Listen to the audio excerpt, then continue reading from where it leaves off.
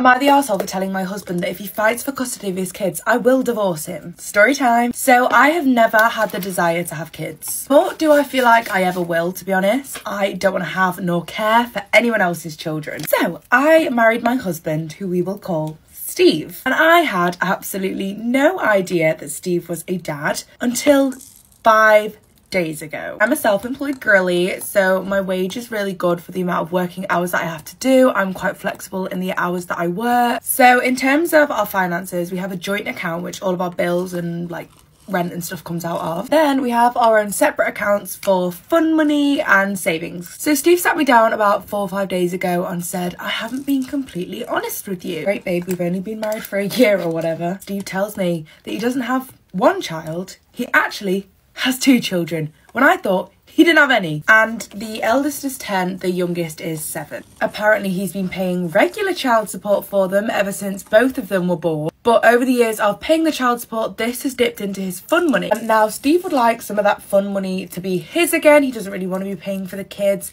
He wants to have fun like he sees me have fun. So now his plan is to fight for 50-50 custody because this will mean that he pays less child support. And as I'm sure you can imagine, I was absolutely furious. Like, I'm sorry, how are you about to lie to me about having two children? Just bizarre behaviour. So I just outright told him that if you wanted to apply for 50-50 custody, that is absolutely fine, but I would be divorcing him. Not even just because of the kids, like the fact that you lied to me so easily as well. Mm, scary. I haven't tried this foundation before, so this could go very wrong. But we do have a prenup in place, so I would be fully protected, still get 100% of my business, and I'd get the house because it was mine that was passed down from my grandma. Steve then had the absolute nerve, the gall, bloody gumption call me the asshole in this situation. I'm sorry, can anyone see my two kids that I never told my life partner about running around? Because I can't. Hmm, interesting. He also told me that I would be in the wrong if I didn't step up to be a stepmom. Hmm, I'm not too sure that that is how this works, Steve. He told me that it was time for me to step up so that he could have fun. So realistically, it's not even about getting the kids back, it's about him being able to save money. Am I in the wrong for telling my friend that if she couldn't keep up because of her disability, she just shouldn't come? I, 26 female, have had a pretty close group of friends. We have this one girl in our group, Sadie, 27 female. She has a disability that is mostly manageable through medication. Despite this, Sadie has a bad habit of forgetting to take her pills right before we do something that she isn't interested in doing. This time, it was on a friend group trip we've been planning for over a year. We each decided to take a day and plan an activity that the whole group would participate in. We also rented a van together to get to our destination as that was the most ideal situation. The first issue with Sadie came up when we were getting to our destination. Due to the length of the drive, everyone was going to be driving for an hour to get there. Right before it was Sadie's turn, she had a flare up and couldn't drive. Our friend took over. The next morning, my friend had planned a tour of the town. We all reminded Sadie several times to take her medication as this was an expensive tour and we did not want it to be cut short. Well, she had forgotten and the tour had to be cut short. This is when I got genuinely upset because now my money was being wasted. Throughout the week, she had flare ups pretty often. The actual fight that led to this post occurred on my day though. The previous day, Sadie had no flare ups. It was also her day to plan. This was because she had set alarms to take her medication regularly so that she would be okay. We all reminded her to please take her pills like that again. I decided to take all my friends on a trail ride on horses, as the trails in this town are known for being exceptionally beautiful. We paid extra for the basic lesson prior to the trail. In the basics lesson, we were all paired off based on our experience and performance in the small arena that they had. I was paired with Sadie. Well, one fourth of the way through the trail, she started having a flare up. I told her that I wouldn't be turning around as this was expensive and I was truly looking forward to this. She begged me to turn around. Finally, the ranger told us that I had to turn around as she was my partner. In the car, I told her that she knew how important this was to me and that she should have just taken her pills. She told me that I was being ableist and that I didn't know what the pills did to her. We got into a huge argument in which I said, if your disability can't take being a good friend, then maybe you shouldn't come on these trips anyway. While I agreed that this was pretty harsh, I didn't think I was in the wrong considering that she had cost us so much money over the years for simply not wanting to do something. My other friends agree that Sadie is inconvenient at times, but I should have been more sensitive to her condition. I'm honestly torn on whether to apologize or not. I saved my son from developing brain damage. I stayed in hospital for two days after I had my son to make sure that I was okay because I had preeclampsia during pregnancy and they just wanted to monitor me and monitor my blood pressure. When we were discharged from the hospital, I was told my son was fully healthy, everything was fine, he didn't have jaundice, he didn't have anything and we were okay to go home. The day after we got home, when he was three days old, I noticed he started going a little bit yellow and I was a bit concerned. So when the midwife came to do a check, bearing in mind by the way, I had a private midwife after uh, I left the hospital and came home because um, I thought this was going to be the best care for him. I raised this with her and I told her that I was worried about how yellow he was, and she told me everything was fine and he didn't look yellow, and that I had no reason to worry, and that because he was a mixed race baby, that his skin was probably just a bit darker, and that was the reason why he was that color. So I was like, okay, cool, fine when she came back for the day five checkup, I was even more concerned because at this point he had gone a lot more yellow. So when she came, I said, uh, he's definitely got more yellow. And she was like, yeah, he is yellow, but I think he's fine. She was like, is he eating as normal? Is he pooing as normal? I'm like, I don't know what normal is because he's literally only a few days old. Like, how are you meant to know what normal is? So I said that to her and she was like, no, I think he's fine. If he is pooing, and at the time he was so sleepy like but she said that was normal for newborns anyways. I was still worried so I was like absolutely not. Contacted a doctor. The doctor told me to give it a couple days see how he goes and you know everything should be fine. He's probably got mild jaundice and that was it. I still felt like something wasn't right, so I contacted a private GP to come out to our house and check up on him. This was about 7 pm at night. He came out, checked on him, and he had a slight temperature, uh, uh, a bit of a fever. So he recommended that we go to the A&E at the hospital uh, just to get him checked over again and make sure that everything was fine. So we did.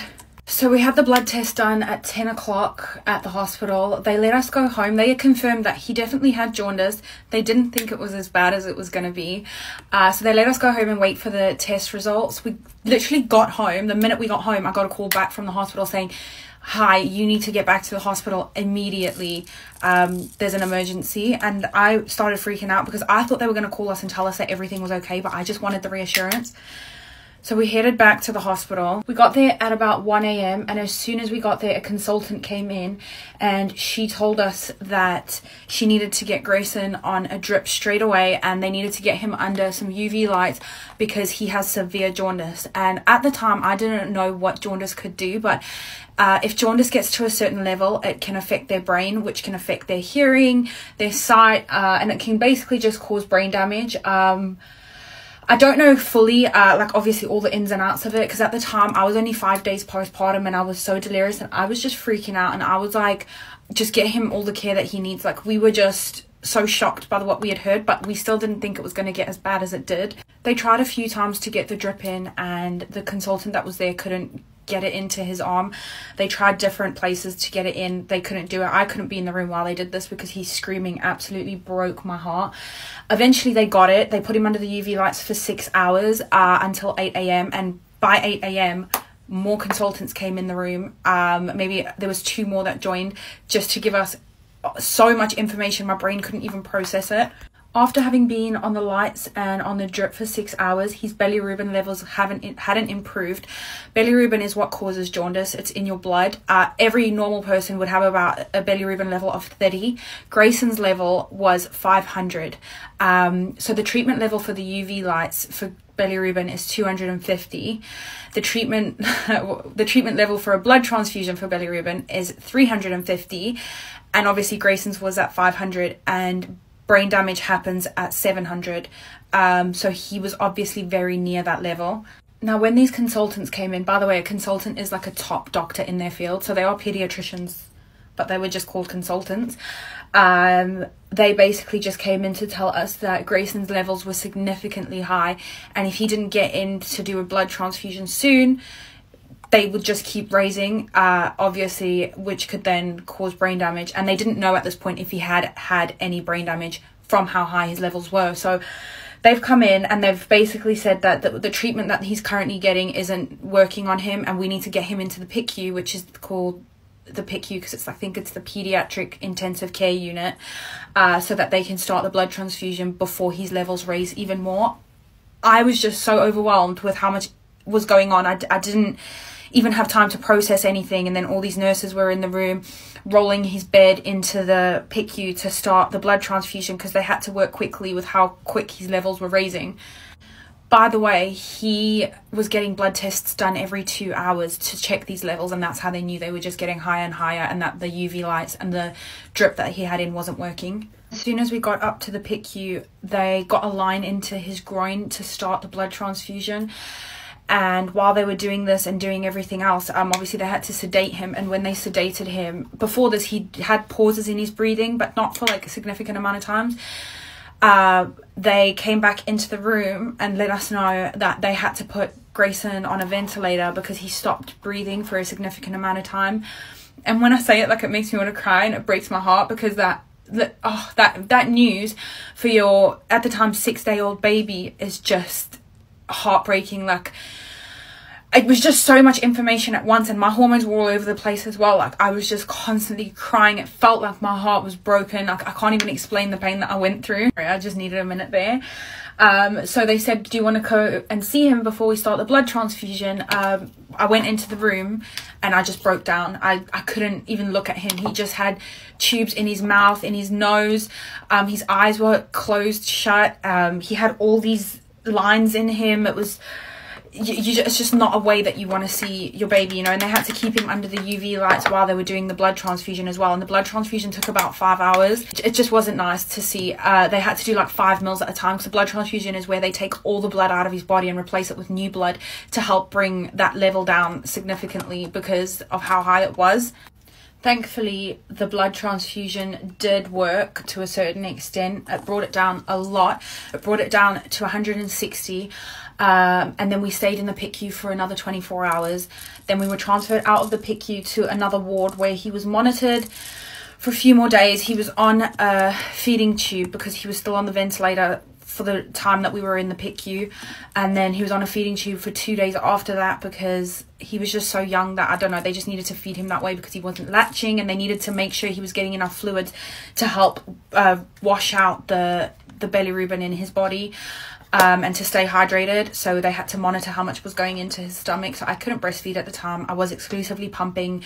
Well, I was trying to pump and just go through everything at the same time to make sure I was feeding him. And it was just a lot. It was a lot, a lot, a lot. I can't even explain it. It just was like a million miles an hour with everything that was going on. So once he was off his feeding tube and they took the little oxygen oxygen oxygen tube out of his nose that they had there after he was on the ventilator and everything was stable, we just went to another ward for another night to just make sure that he was going to be okay without any of the extra things that he had.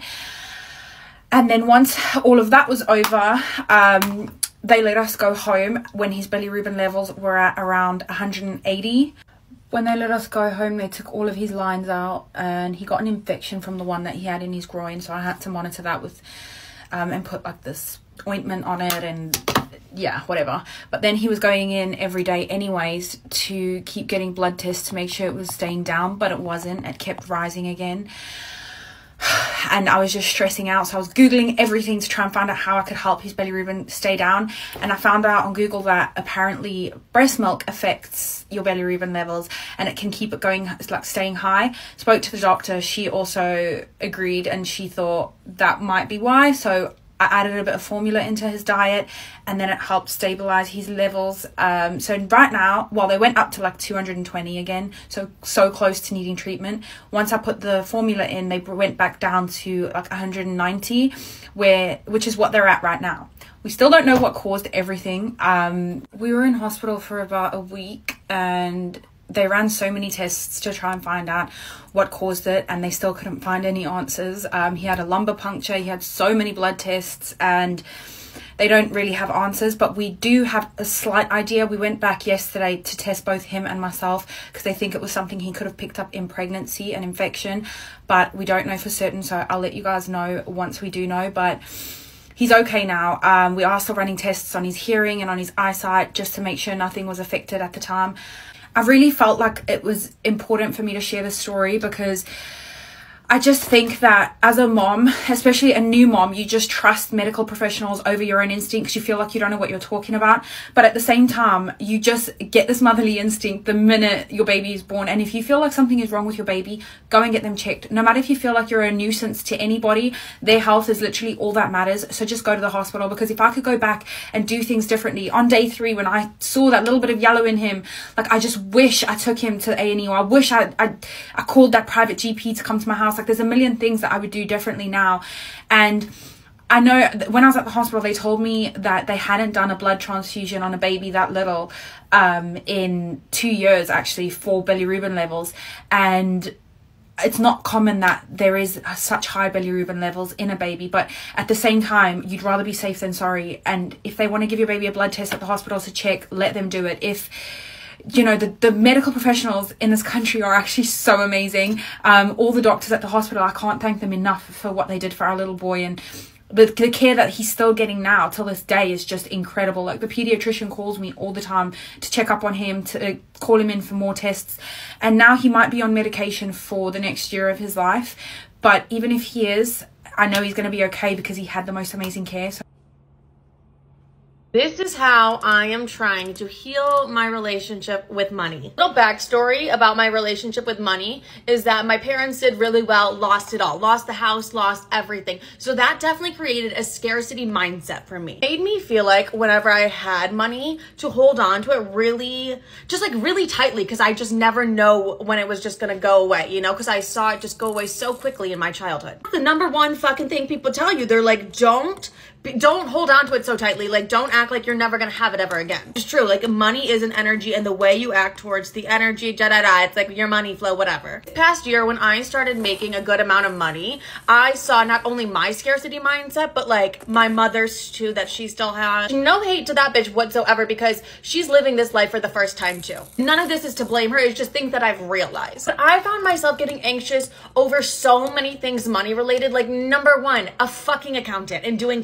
taxes taxes. I TikTok that was like, you're never supposed to make decisions out of fear or like with money. Like you're never supposed to be scared into making a decision with money. And let me give you an example. Last year is when I became a full-time influencer and I have to hire like a special kind of accountant for that or just like a fucking accountant in general. Like TurboTax can't do the job anymore. My mother was like, you need to hire an accountant right fucking now or else you're going to prison. Like, no, I literally kid you not. The woman was like, you're going to jail. Like I was genuinely convinced I was going to be like an orange jumpsuit because I had not hired a fucking accountant yet. Mind you, it was just like January and I had like maybe one month of brand deals. My mother was like, no, you're going to prison. Like you need to hire someone immediately. You know what I did? I Googled accountant and I hired the first man that came up and I ended up paying that fucker so much money. Guess what? He had absolutely no idea anything about influencer taxes. I had no idea anything about taxes. Like if you guys remember, I hated that man. Like I really did not like that man just because like he, and it's honestly not his fault. He just, I mean, I guess it kind of fucking is. I'm gonna have to Google that. I'm gonna have to Google that. And I was like, okay, well, I don't know. And he was like, well, I don't know. And I was like, okay, well, you're the expert. Like, I'm paying you so much fucking money. Like, maybe you should know. He just wasn't familiar with influencer taxes,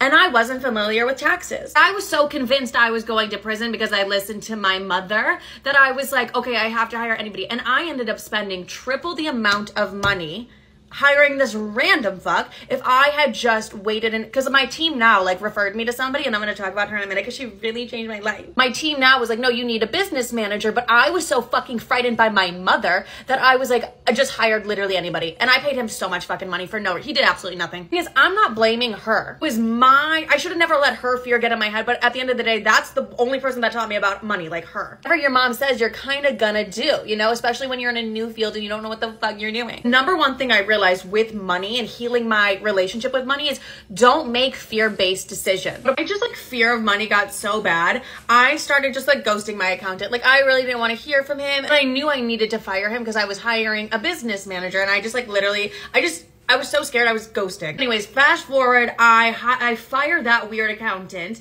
and I hire my now business manager. We're gonna call her Tina. Because my team was like, no, you need a business manager. Like you wanna just do these things correctly. My first month working with Tina, I was ghosting her like the entire time. I kid you not, she would be asking me for documents, ghosting. Because I was just so fearful. Like I was just so scared. And the talk of money and just thinking about it in general, being in this brand new field, like knowing nothing. And I had nobody to rely on really besides my team that knew anything, but like nobody close to me. Like I could, I realized I had to stop talking to my mom. Not in general, just like about money and stuff like that, because she was just creating such like a fear-based mindset for me. Also, I just think in general, me personally, I cannot talk about money with really anyone else unless it's a trusted professional. For example, once again, don't know why I did this. When I told my mom the amount of rent that I'll be paying in LA, she lost her fucking mind. She was like, what the fuck is wrong with you? Why would you do that kind of thing? And I was like, well, this is what I feel comfortable spending. She's like, you have no idea what you're doing. Or even if I told like let's say a close friend or something. They're like oh my god that's like so much like, what, are you sure you know what you're doing? Are you sure you know what you're doing? And also it's like no i don't know what the fuck i'm doing. So i'm even like 20 times more scared.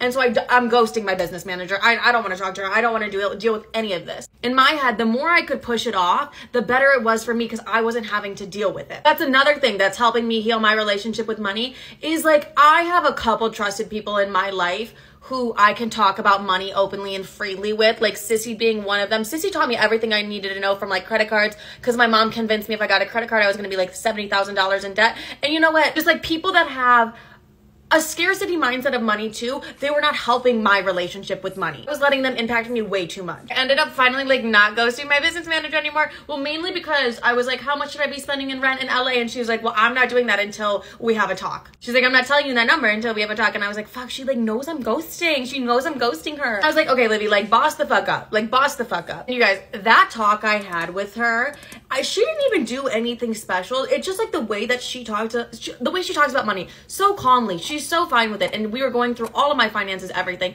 And I, for the first time in my life, I feel like I just felt so comfortable. That amount of rent that um, my mom was like, "What the fuck is wrong with you?" was the exact amount that she she suggested for me to be spending. In that moment is when I realized I was like, "Okay, I need to trust myself."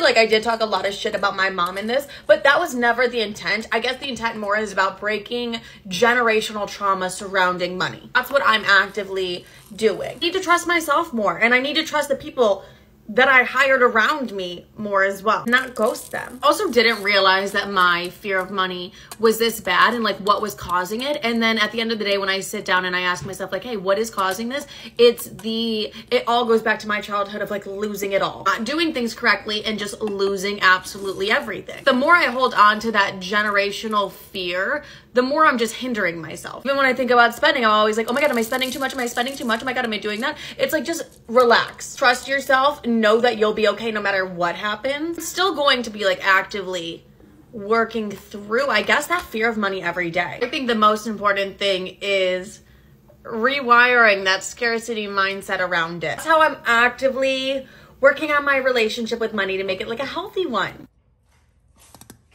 Am I the asshole for not being attracted to my husband and speaking to other men? Married to my husband for 13 years now. That's so long. Did not have the most romantic relationship when we first started dating. He's a molecular scientist, which means he's very heady. There is not one single romantic bone in this man's body. Of course, he's always been kind and sweet and considerate. When we first started dating, we would go out on fun dates. Loved hiking, rafting, mountain biking, but when it came to romantic dates, he had no clue. I was the one that would ask him if he wanted to go to dinner. Made the first move when I kissed him. In fact, he didn't even kiss me back. During the first year of our relationship, he was very unaffectionate. I was always telling him how I wanted him to kiss me or hug me. He would just shy away. I clearly underestimated just how shy he was because of the fact that he never initiated anything. At first, I thought that he might have been gay, but it was proven wrong when we had done it for the first time. I mean, he went through it and he was excited and it happened. Still, there was always a lack of affection. When we greeted each other, I would be the one to kiss him. He would just put his arm around me momentarily. I wanted to accept that this is just his personality, but I just couldn't. I wanted romance and passion. I just wasn't getting even a little bit of that from him. Not even with his words. He never gave me compliments the way that I did. I would compliment him all the time. If you're wondering if I was attracted to him then, I was. In fact, I was very attracted to him. I was definitely attracted to him physically, yes. He was in great shape at the time that we met, but I was also attracted to his mind. He was very determined and disciplined. He was also incredibly intelligent and wrote really well. For all of these reasons, I fell in love with him. He also did treat me well, although he wasn't as affectionate as I wanted him to be. But it just kept getting worse and worse. I would be the one to spend the night at his place all the time. He never offered to come over to my apartment. So eventually I moved in with him. This led to us fighting almost every single night because he never wanted to do it. I would ask him what was wrong and he would say nothing, I'm just tired. Or he gave me the classic answer of my head hurts. I couldn't believe it because I was definitely out of his league.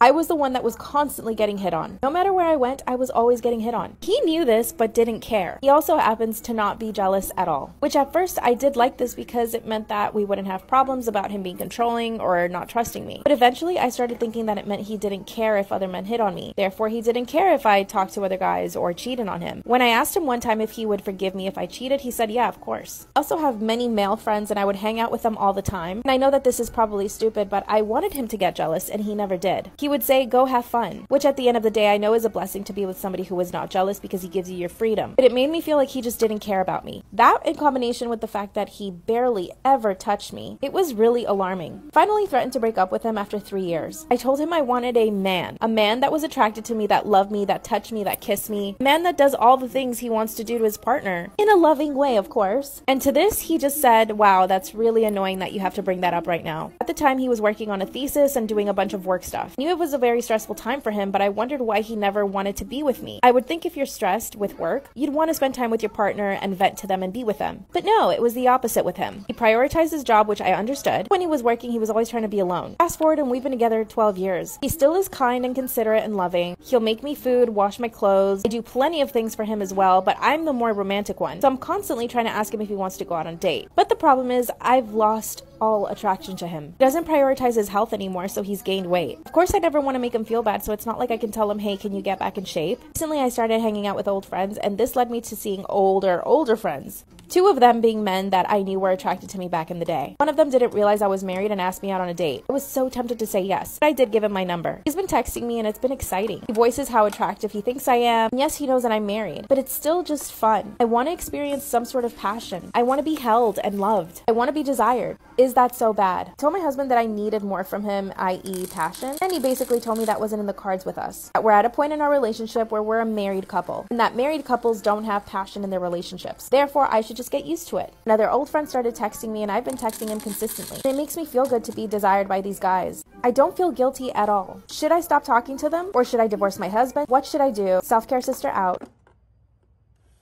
Theater bitches are some of the pettiest motherfuckers I've ever met, myself included. Like, I'm not innocent. Especially in high school, because all the theater mommies are still involved, and they did not like me. Like, so trigger warning, big forehead, mega mind your business. So my junior senior year, which I did together, the musical was Once Upon a Mattress, and I played the queen, which is actually fucked up if you know that show. The main character, her only personality trait is being a loud pick me. She's not, she's not a normal princess. She's loud and obnoxious. Hello, hello, But the theater mommies didn't like me, so I was never the lead. Whatever. In theater, there's a thing called Tech Week, which is basically like where you run the show over and over again, make sure you know your blocking, your dances, your songs, or a family trip planned for a while to go to Texas, right? Except the week was Tech Week, so that's like a big eh. theater mommies had a fit, director had a fit, but at the end of the day, they were like, yeah, go do your trip, you'll be fine. We'll just have an, your understudy go on for Tech Week. Whatever Tech Week happens, I have a great trip in Texas. I come back, we do the Sitzprobe, which is where like you add the band like to the performance. My director was like, the one thing though is if you go on this trip and you don't know your shit when you get back, your understudy's going on. But like, of course I knew my shit because like obviously I know my shit. Like, girl, the fuck are you talking to? when I got back, my understudy was still reading my lines, trying to memorize everything, like practicing my dances as I'm performing, and it was pissing me the fuck off. I know I know my lines. You know I know my lines. So like, you're just wasting your time. Like, you're not going on. I'm the queen. Me and this person also had the same gym class. So like, I was running the track because you know I was